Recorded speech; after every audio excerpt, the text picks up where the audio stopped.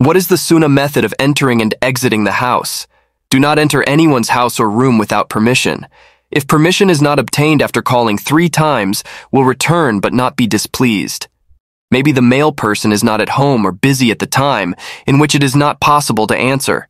This could be many things. Similarly, he will not enter his own house without making noise.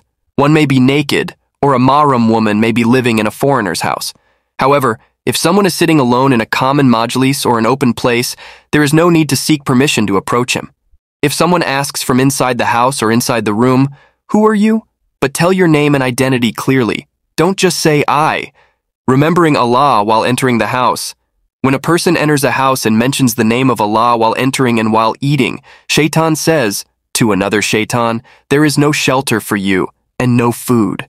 If you want to enter the house, you will inform the residents of the house about your arrival from the east. When entering the house, enter with the right foot. Bismillah will be recited after putting the right foot. After saying Bismillah, read this prayer and enter. اللهم إني أسألك خير المولج وخير المخرج بسم الله ولجنا وبسم الله خرجنا وعلى الله ربنا توكلنا After that, he will greet the householders. Even if there is no one in the house, greet the angels like this. Every time he goes home, he will ask permission and greet him, even if it is his mother's house. You will not be completely silent when you go home. Will ask something. At night, when people are asleep, they will slowly enter the house. At night, when people fall asleep, salam will be made so softly that only the awake person can hear it, not sleeping persons, and it does not disturb anyone's sleep. He will enter the house with a very happy smile on his face. It is sunnah to bring some gifts for the family when returning from a trip. A person returning from a journey should offer two rakas of nafal prayer before entering the house.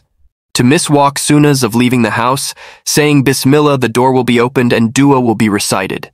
Pronunciation Bismillahi tawakkaltu alallahi la hawla wa la quwata illa billahil aliyil azim. He who says this is called sufficient will be for you, and you will be safe and the devil has retreated. Exit with the left foot. Go out and recite Ayatul Kursi.